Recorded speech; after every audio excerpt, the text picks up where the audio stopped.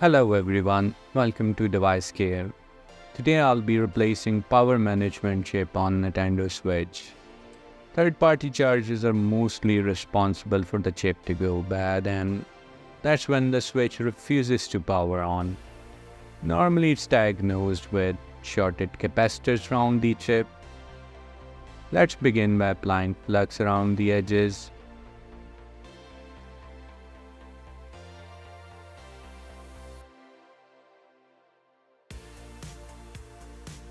and cover the RAM section with tape to save it from heat during the process. Now set the heating station to 500 degrees and use medium nozzle. Then apply heat directly above the chip.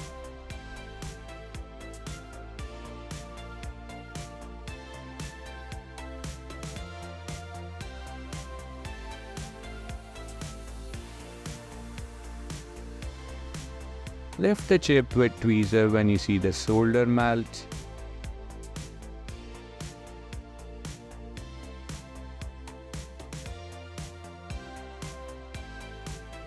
Now carefully place the new chip in same orientation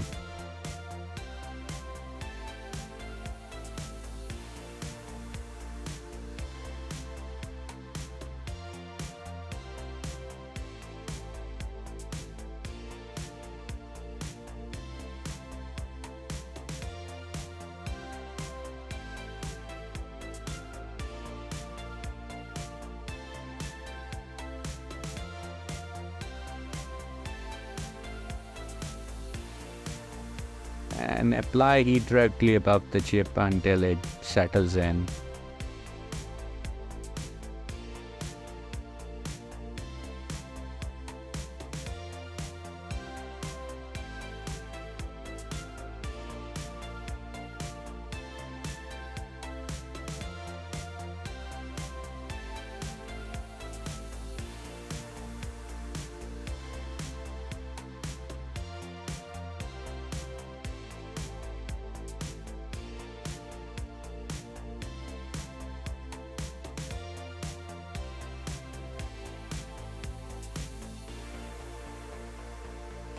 Apply more flux.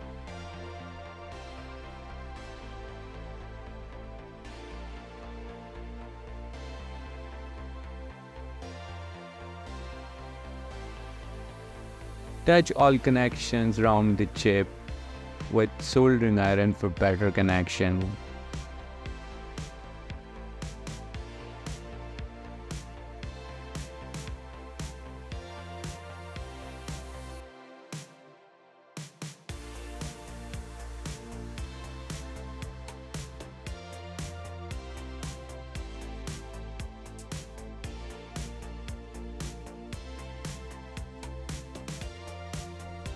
Finally, give it a clean with isopropyl alcohol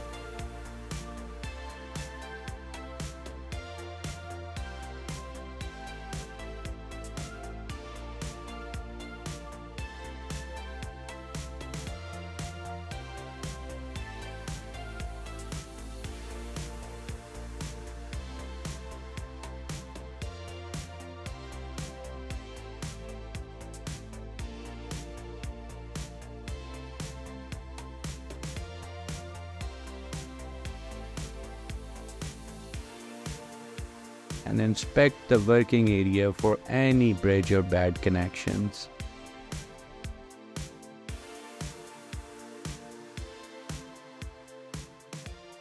Thank you for watching.